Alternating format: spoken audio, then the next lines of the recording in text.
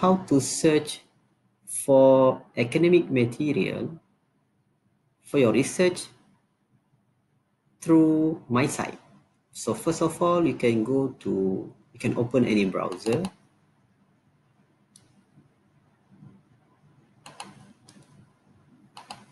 And then you just type MyCite.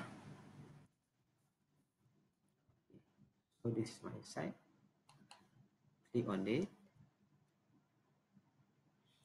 Then they're going to open for you MyCite Malaysian Citation Index.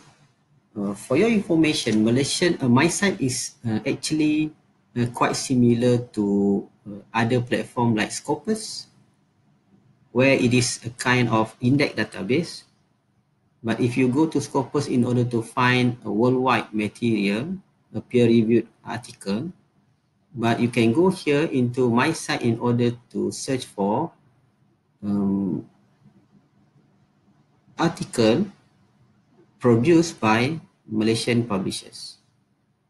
So in other words, if you are a kind of looking for Malaysian context um, material or Malaysian article uh, published by Malaysian publishers, for example, uh, Malaysian universities or Malaysian uh, organization, uh, you can go to MyCite in order to find them. So first of all, you just go here and type any keyword that you want to search for. For example, I'm looking for education.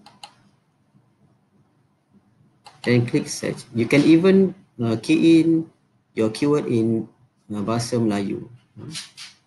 Since uh, this is a Malaysian uh, publication. So most of the article also been written in Bahasa Melayu.